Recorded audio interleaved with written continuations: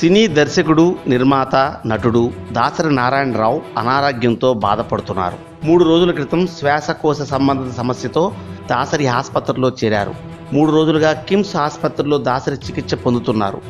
దాసరి అనారోగ్యం నుంచి కోలుకోవాలని సినీ ప్రేమికులు ఆకాంక్షిస్తున్నారు.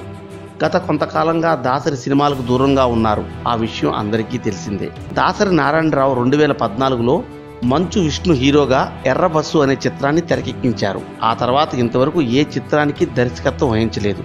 ఆయన సినీ ఫంక్షన్లో అడపాదడపా కనిపిస్తున్నారే కానీ పెద్దగా ఏ వేడుకల్లో పాల్గొవటం లేదు. ఇదిలా ఉండగా పవన్ కళ్యాణ్తో దాసరి త్వరలో ఓ సినిమా తీయనున్నట్టు తెలిసింది. అది ఇంతవరకు కార్యరూపణ దాల్చలేదు.